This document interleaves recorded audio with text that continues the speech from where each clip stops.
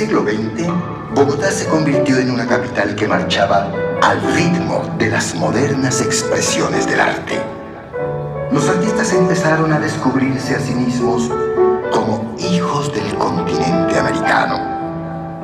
Bogotá entraba así en la modernidad guiada de la mano por artistas como Carolina Cárdenas, quien encarnó el espíritu del arte, de la polémica y de la contradicción. Ella iluminó nuevos caminos para